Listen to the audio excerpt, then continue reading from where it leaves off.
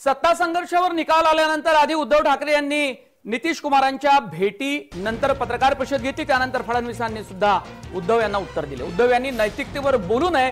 राष्ट्रवादी सोबत जाताना कुठली नैतिकता होती असा सवाल फडणवीसांनी केला. उद्धव घाबरले आणि राजीनामा देऊन गेले असं म्हणत फडणवीसांनी उद्धव ठाकरे यांना प्रत्युत्तर दिलेलं आहे.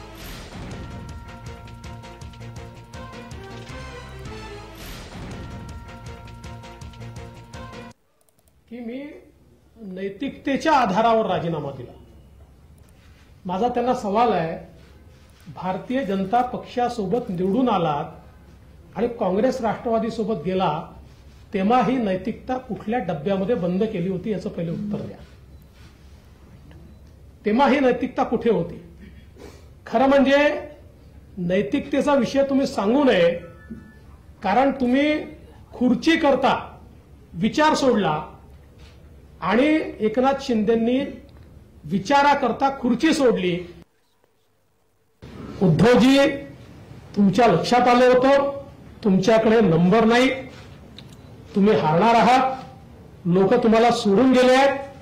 त्यामुळे त्या लाजेपोटी आणि त्या भीतीपोटी तुम्ही त्या ठिकाणी राजीनामा दिला.